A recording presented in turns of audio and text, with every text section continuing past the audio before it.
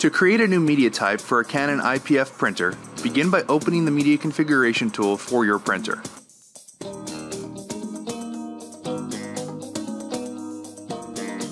Then, select Add Custom Paper Type from the menu, and then Add again. Once your printer is displayed, select Next. Next, select the media type closest to the media for which you are creating a custom media type.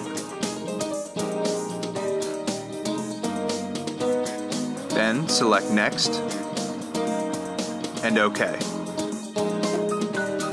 Next, set the custom paper name. Use the same name for both name in printer driver and name on control panel.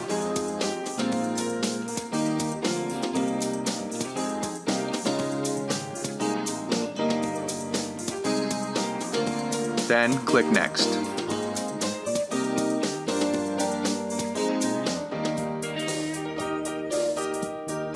Next, load the roll media into the printer and click OK. Then, select roll paper 1 as the paper source and click OK. After loading the paper into the printer, be sure to select the provisional media type created in the previous step on the printer LCD.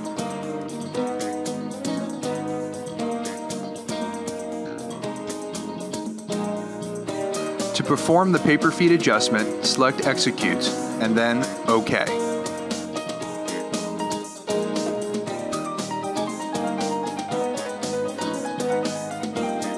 When the paper feed adjustment is complete, click OK and then Next.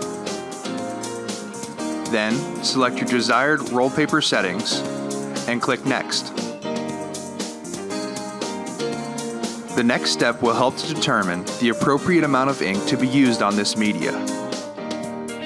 To proceed, click Test Print.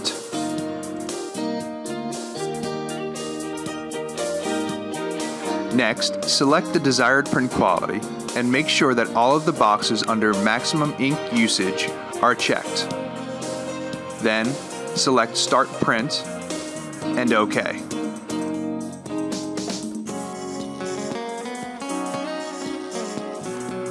When printing is finished, click OK.